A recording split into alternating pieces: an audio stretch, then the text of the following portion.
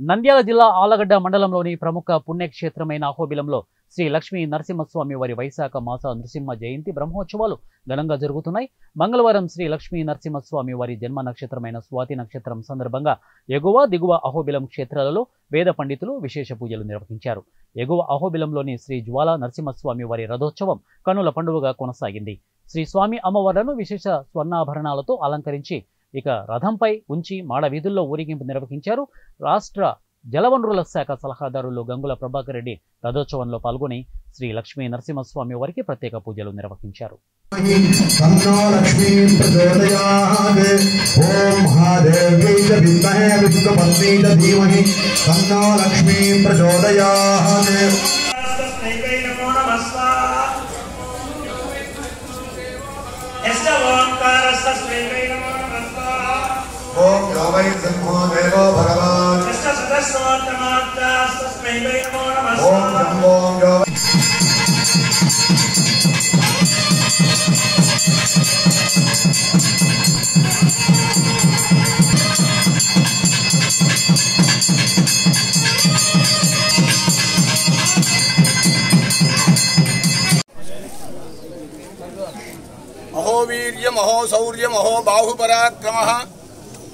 నారసింహ పరం దైవం అహోబలం అహోబిలం నవాన్నిగ క్రోధినామ సంవత్సర నృసింహ జయంతి బ్రహ్మోత్సవాంగం ఈరోజు రథోత్సవం।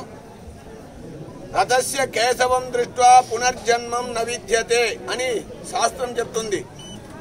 ఎవరెవరు రథం మీద ఉండే ఆ భగవంతుని దర్శించుకుంటారో వారి అందరికీ సకల విధమైన సౌభాగ్యం కలిగి క్షేమంగా ఉంటారని చెప్పి పురాణాలు చెప్తుంది కనుక యావత్ భారతదేశం కాకుండా ప్రపంచమంతా క్షేమంగా ఉండాలని చెప్పి ఇక్కడ ప్రత్యక్షంగా వచ్చిన భక్తులందరూ వేడుకుంటే వారందరికీ ఆ ఒక క్షేమం కలుగుతుంది కనుక ఈ లక్ష్మీ నరసింహస్వామి వారు ఒక బ్రహ్మోత్సవం వైశాఖ బ్రహ్మోత్సవం ఇది.